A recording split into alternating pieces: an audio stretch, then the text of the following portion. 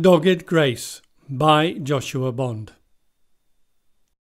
Aunt Mabel visited one day and managed in her usual way to skewer all the homely chat by bringing her obnoxious cat. A spoiled beast, as one may guess, and here's the story to confess. The family time was Sunday lunch, a pleasantry, but here's the crunch.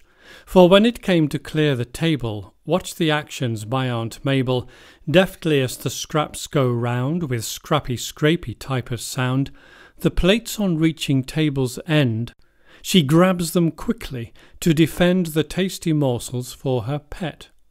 An act her hosts would not forget. For Wilf, their dog, lies by the fire.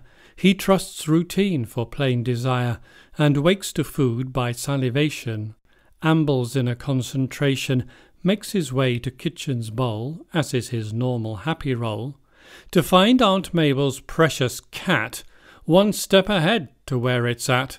With coiffured hair and polished teeth, the cat gulps down the scraps of beef.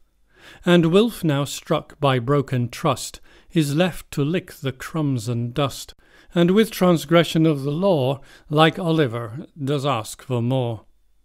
The cat, high up on Mabel's knee, conveyed superiority, and purring with a fiendish grin, stroked by her mistress on the chin, in high and mighty disposition, sneers at Wilf's now glum position, and rudely spits in poor Wilf's face.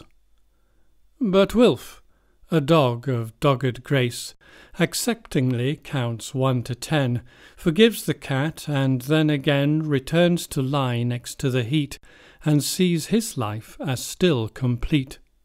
He ponders by the crackling fire.